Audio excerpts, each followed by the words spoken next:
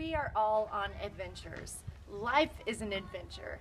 Your adventure might be becoming a new parent, moving, going to school. Maybe you want to start a new job, or in some other area of your life, you're learning something new. Maybe you're creating a new way of living for yourself based on some health concerns that you have. We are all changing and growing and on our own special adventure. Sometimes when we're on an adventure, we're in that adventure mindset where we're excited and enthusiastic, we have so much energy, and every new thing is this wonderful exploration of life. And then there are times when we're not in that adventure mindset. we want stability. We want something that we understand and that we feel safe knowing. I think that what makes life easier and what makes adventures easier is finding that balance between the adventurous side of yourself and the side that wants a little more balance and stability. That's been my focus this week. My husband and I have been in Guanajuato, Mexico for two weeks now. We just found our new place.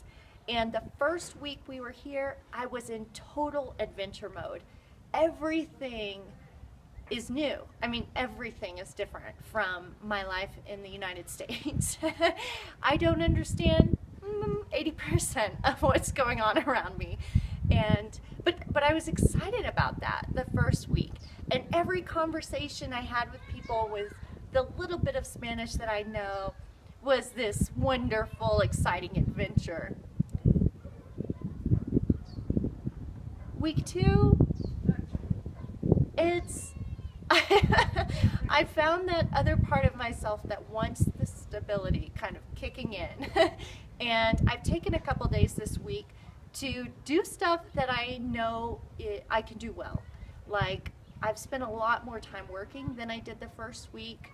I spent more time inside by myself reading a book in English. you know? And I also noticed that my brain has gotten to this, I guess, overload point because we'll be having a conversation with somebody and they'll speak in Spanish and my brain won't even try to comprehend what they're saying. I, just, I found myself either responding to them with this blank stare.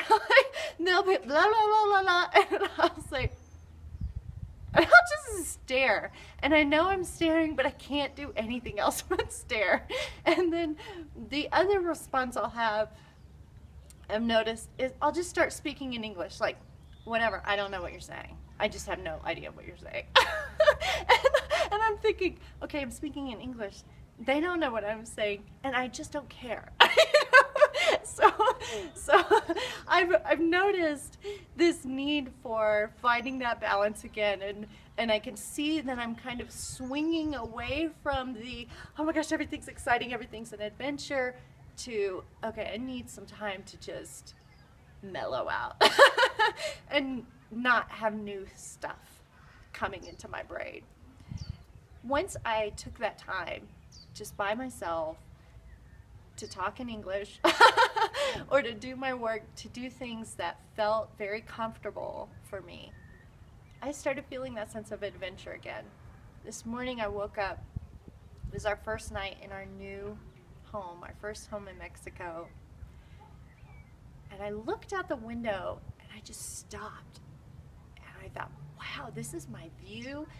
I have the mountains, I have this gorgeous city with all of these colorful houses. I'm here. This is where I am right now. It's amazing.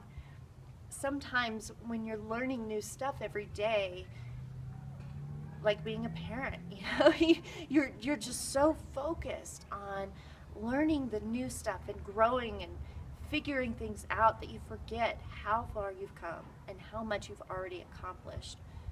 So, whatever adventure you're on this week, it's okay to find that balance it's okay if you don't feel that excitement about learning something new or trying to figure things out. That's okay. Just take some time to nurture that other side of yourself.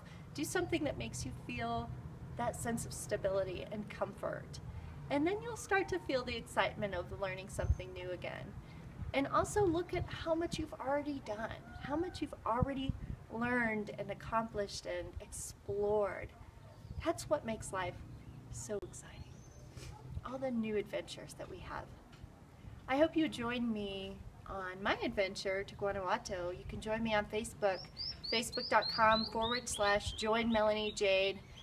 There are new adventures every day, and I'd love to hear about your adventures as well. So go ahead and share what's going on in your life.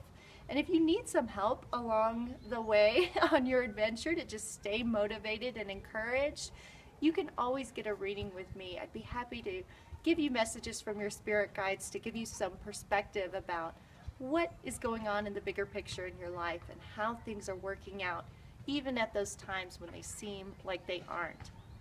Join me on melaniethemedium.com. You can also sign up for my newsletter there, and I hope you have a wonderful week finding that balance between adventure and stability. Talk to you soon.